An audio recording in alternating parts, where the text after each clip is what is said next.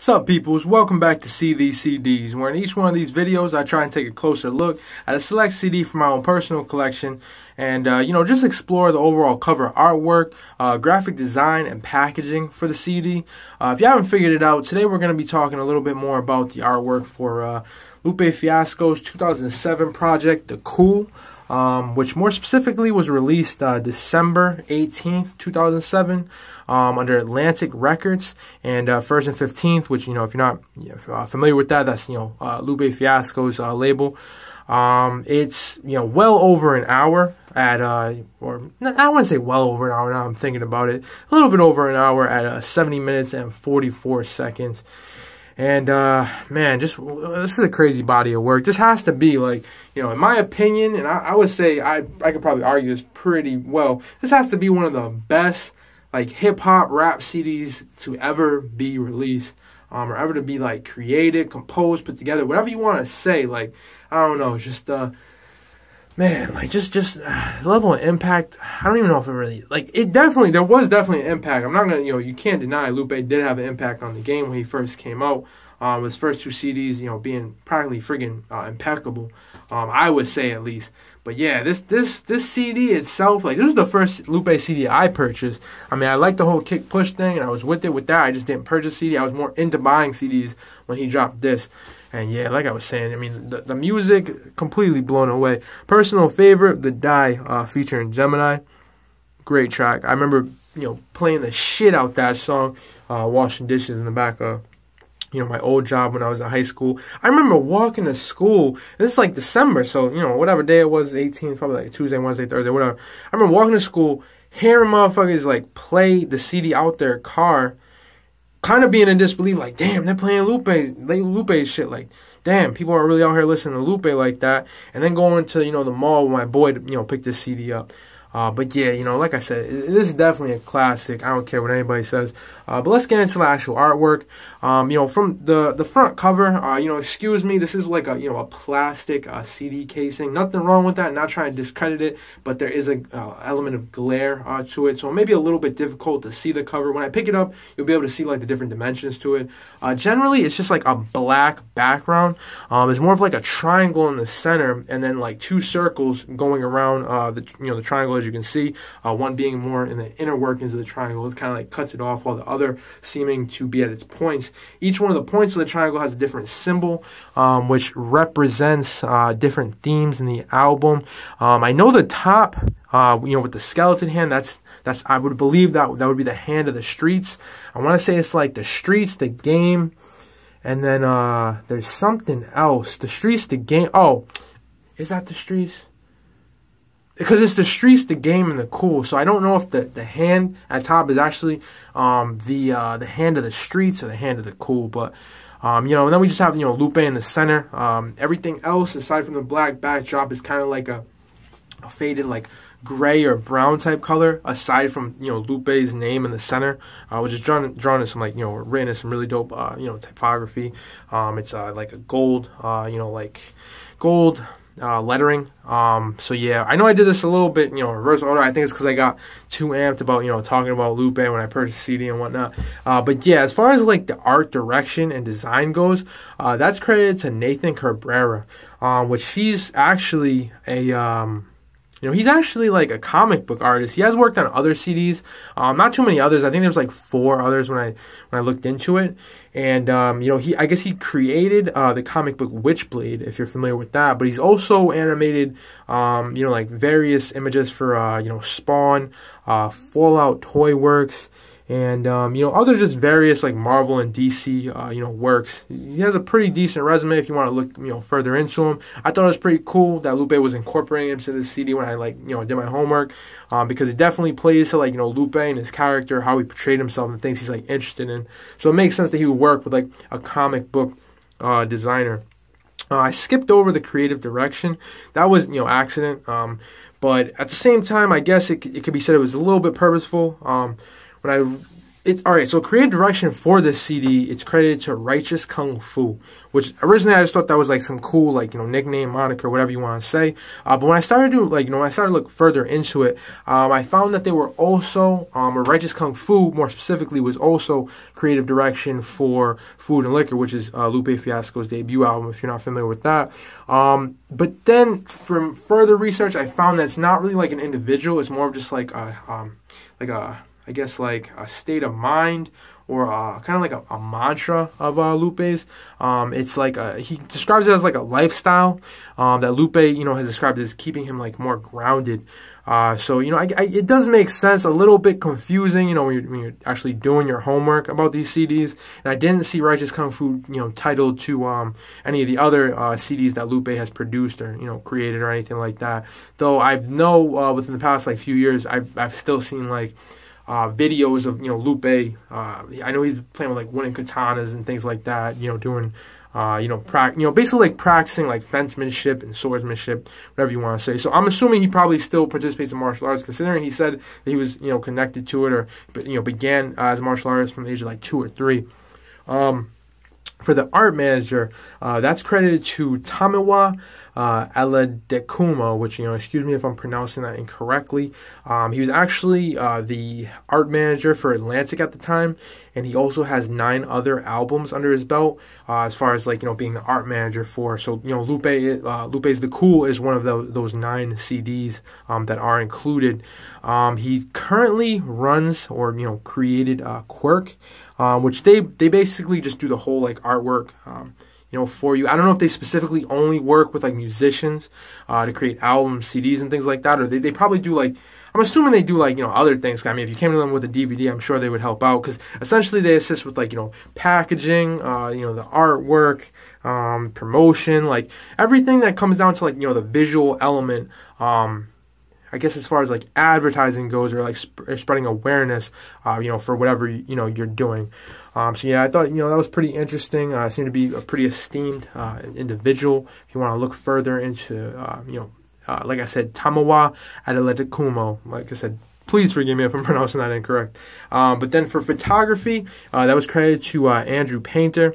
Which if you check out his website there's a whole bunch of like very cartoony, um, you know, like types of um, animations.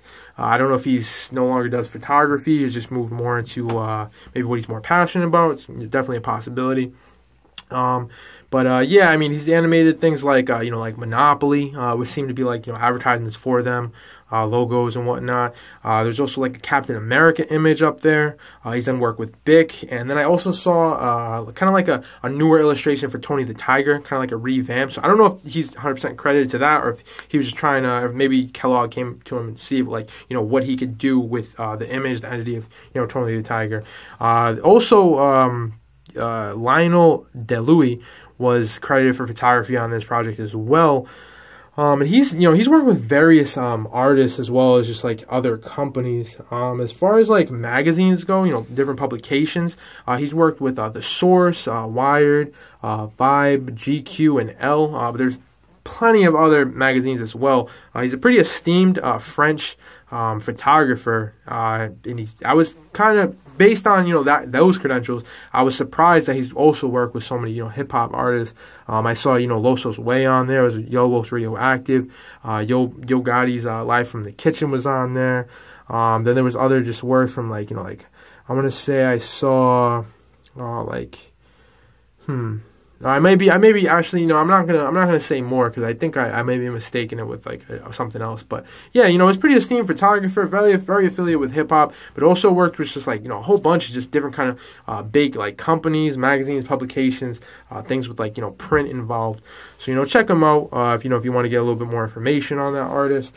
Um, as far as packaging production goes, now there's a lengthy artist team on you know uh, you know connected to uh, the cool. Um, I don't know if that's just because it's you know it's got a label behind it. I would assume uh, 2007 you know labels were definitely more prevalent than they were. Granted, they were probably on the decline around that time. I believe 2004 was you know where like uh, brick and mortar store really took like a hit. Uh, so yeah, it was definitely on the decline, but you know, there was a whole bunch of people behind putting together the visuals for this CD. Um, so packaging and production was credited to Brian Ranney, uh, which you know when I looked uh, further into his, like his discography or just things that he was affiliated with as far as like music goes, um, he did packaging and production also for uh, Teenage Mutant Ninja Turtles 2007 soundtrack, showing for you know the movie. I think it was like an animated movie. Um, there was uh, Gucci Mane's uh, CD Back to the Trap House, uh, which he did packaging for. I've seen several Paramore, Panic by the Disco project, Paramore and Panic by the Disco. If you're not familiar, projects that he was also affiliated with the packaging for, and uh, also some projects for Mano. Um, other projects he did for Lupe was uh, Lasers and uh, Food and Liquor 2, uh, which, like I said, he all he handled the packaging, you know, or had packaging cr- credits for each one of these projects. And lastly, I'm not really sure how um, if this was like art in terms of visual uh, oriented um, credits, but for layout, which like I said, I'm not really sure you know what layout means, uh, but that was credited to uh, John Regan, um, which he's also he's a musician, uh, a musician, a songwriter, a producer, a bassist, and guitarist. Uh, he was a guitarist for X Kiss, um, which I would believe is you know like a rock alternative band. All right, so yeah, I already like you know really broke down the cover. I mean, I think the only thing I like failed to mention is just the uh, parental advisory logo or label, uh, which is in the lower right hand corner of the cover of the CD. Uh, so I mean, I guess we can just we can take a look at the binding. Uh, there's nothing really there on top. Um, on this side, you know, the very top of the binding, um, it shows Lupe Fiasco on the left hand side. And then uh, once again, Lupe Fiasco's The Cool in the center, Atlantic Records at the end on the right hand side, um, which, you know, that the, the, those numbers that we, we still don't. I, I, should look into that and figure out what those numbers mean. Yeah, it's basically the same thing on the opposite end. Um, flip this shot, see this. I don't really need to get that in focus. I'm probably going to cut that out because uh, it's, it's, it's literally, it's just the same thing. To focus. There we go. All right, cool. So yeah, same thing. Just give you guys a comprehensive look on the back. Uh, the back is uh, very simple, uh, basic, um, clean. Uh, it's just you know uh, I mean, you can't get much more uh, simple and clean than that. It's a black background, white text. Each one of the tracks listed in order with the numbers. On the left hand side, the numbers are a little more tinted to that like you know like that faded like brown or like you know kind of rust color that we saw in the, in the front. that kind of made the uh, that symbol that was on the front, you know, the triangle, like I was talking about, you know, the streets and uh, the game and stuff like that in the beginning. Um, and then, you know, toward the bottom we have um, you know, executive producers. Man, free Chilly, that's so crazy. Um, and then uh, we got like you know um, the barcode left hand side as well as uh, Atlantic on right hand side, at least their logo. Uh, first and fifteenth right besides it, or you know first and fifteenth logo, and then uh, you know more text for legality in the center, uh, FBI warnings and such.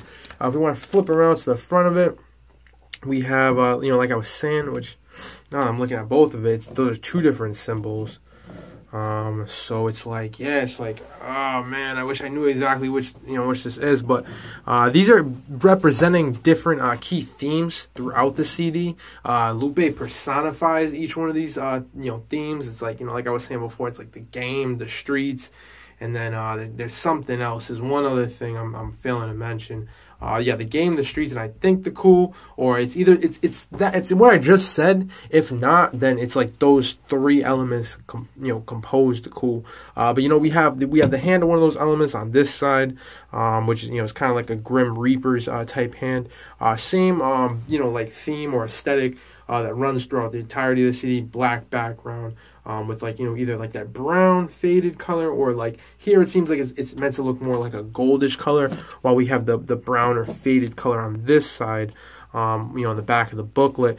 Uh, if we just want to pop the CD off you know the background uh, it's you know pretty basic, similar to majority of CDs we see. Nothing too out of the ordinary. That we do see uh, the you know the graphic from the front, uh, you know you know from the back a little bit. Place that down, and then all right. So this is like one of the characters I was talking about, where you know like I said, Lupe personifies each one. You know the cool, the um, you know the the streets, like you know each one of those throughout the project. You hear from them each project, um, each song rather, uh, as it progresses through, and sometimes Lupe uh, raps from their perspective as well as uh, Gemini does at times also. There's just a lot of depth and layers to the CD. I mean, you could, you could really break it down. Lupe likes to, you know, make these more complicated, um, like, I guess, story arcs or just uh, concepts for CDs. Nothing wrong with that. He's very good at uh, pulling it off, um, as you can see with these first two CDs. And he has, a, he has other CDs as well, which are, you know, pretty dope. You know, I can't really hate on him or anything like that.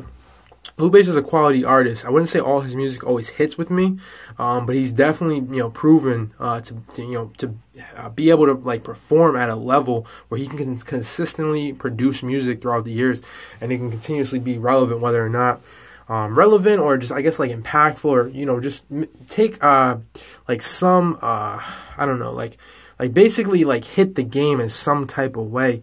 Um, he's shown that he can produce music that fits in the you know the current era while still remaining timeless and still being quality work. Um, I don't know if you guys heard um what was it? It was uh, Enemy of State, but when he dropped that, I was like blown away. So I was like, damn, I haven't heard Lupe in so long. And it was just such a nice little compact, dope body of work. Lupe just getting off, going off. So he's definitely a top tier lyricist, no doubt, top tier rapper. But yeah, let's go ahead and open up this booklet. All right, so like the story element is also continued throughout this booklet. Uh, you, you know, you're gonna see that um, in each one of uh, you know these photos. Uh, this is like a graveyard where we have uh, this character, which is you know in the back of the CD. If you can't shoot well, try to it's a little difficult to see. I'm gonna bring that closer just so we know who we're talking about. So this character, like I said, he that he also had that's the hand uh, that we saw on the front of the CD uh, cover itself. Um, he's standing in front of this grave site, um, you know, where uh, there's some tombstones. Um, on the left hand side, we see the grave. It's Michael Young History yeah, Michael Young history, which I'm not sure if that's really his name. And then on the right hand side, we have like almost like a, a logo, similar to like the Yankee logo. And then um, you know, it just says uh, it just says um, Lord, please have sympathy and forgive uh, Michael Young history. So I don't know. That might be like wordplay. I don't know if Michael Young history is an actual character or, like I said, if it just fits into the story. Um, you know that that Lupe uh, portrayed throughout this CD. Uh, once again, we have the same character. It's a it's a better shot of him. Um, uh, like I said, this is either the the cool. Let me, let me check something really fast. Uh, yeah, so it's the cool, the streets, and the game. Um, so I, I want to say that this uh, man, he's pro. I want to say he's I'm not sure exactly, but he does re- represent one of the you know the characters. I just don't want to say like oh he's this one and then he ends up being somebody else. Uh, but yeah, and then on the opposite end, once again in the background we have the you know black backdrop uh, with that same hand uh, representing that character. Um, I don't know if that means that you know all of these tracks, which I, I doubt because this is the vast majority of the CD. Uh, you know, or from the perspective or represent this character. I don't think so. Uh, but you know, you, you, see each one of the you know this uh, the, the tracks with their credits and their titles listed uh, right here. Let's get a nice shot of each one. Oh, High Definition is another song. Snoop Dogg's going off on that. It's like, damn. Good, yeah, just some good songs on the CD, man. It's just a great CD. Um, then if we want to continue, uh, we have you know each one of the characters, the streets, the cool, and the game on the left hand side. Uh, you know, with the full moon behind them, looking pretty spooky, uh, like they're you know uh, from some type of like I don't know uh, maybe they, they seem kind of undead or from the you know maybe like they're from a different realm or you know more spiritual or something like that different dimension blah blah blah. Then we have lupe um, on the opposite end the right hand side seemingly telling them to either hush or he's just putting his finger to his chin to you know maybe ponder at them trying to figure out what the hell you know is going on with these dudes. Uh, but just a black backdrop uh, you know behind lupe. So it's pretty interesting. Um, makes me wonder just like what what's what's with the opposition of like you know all the light on this side versus this side where it's more just darkness and simple uh, from where Lupe is coming from. Uh, but yeah, it just makes me you know wonder what the uh, significance of that is. Uh, once again, we have uh, you know more tracks listed. Um, you know, uh, I want to say it's probably a third of the tracks on the the right hand side. you know, with the symbol of this character. Um, so she would have to be um, she yeah, she has to be. She's the streets. Yeah, she's definitely the streets. Uh, so you know, then we have her just like you know peering into the uh, the camera. Um, you know, money signs in her eyes. Interesting. You know. Um, just an interesting photo. Like, and I mean, I know it was definitely like you know edited Photoshop, whatever. Uh, but yeah, it's just like you know, there's a lot to take away from here. There's also some text on her chest. There's a locket. Like, there's a lot of symbolism in her images, and each one of the images of these characters. Um, you know, that's what you know Lupe you know put into the CD. Um, there's you know a lot to it. Uh, the booklet's not very lengthy. Um, you know, this is practically the end of it right here. Uh, we have Lupe, you know, walking away from them in the background. I don't know if that means he turned his back on each one of those elements because maybe, you know, he's risen above them. I don't know if that's what he's trying to say or it's just maybe he's risen from their influence. Um, but yeah, you know, uh, this is about the end of the booklet. We have Lupe over here on the right-hand side walking away, which I'm assuming is the, the city of Chicago uh, behind him. Uh, since, you know, Lupe, if you don't know, is a Chicago native. Uh, but yeah, then we just have on the back uh, that last image um, of the you know the other symbol. Uh, so it's like I said, it's either the streets, the cool, um, or the game. And uh, yeah, I mean that was uh, Lupe Fiasco's um, the cool project. Uh, I hope you enjoyed the visuals for it. you know, lot, there was a lot of names featured um, you know in this CD as far as like you know working on the visuals and you know the overall you know graphic design for the CD. So yeah, I hope you enjoyed it. Like I said, it's one of my favorite CDs, one of my most impactful CDs that you know definitely affected me uh, as far as like you know uh, listening to music and consuming it even the body of work as far as like the graphics go i remember you know going through this booklet a lot just taking looks at it so yeah you know like i said this is uh you know like i always say this is see these cds thanks for checking out these videos uh, please engage any way you can subscribe comment uh, share you know whatever you can do is much appreciated and tell me if there's any any other cds you want to hear um, you know, going forward, or you know, you want like me to check out going forward. But thanks for checking out the video. Like I said already, it's been See These CDs. All right, people. Peace. I'm out.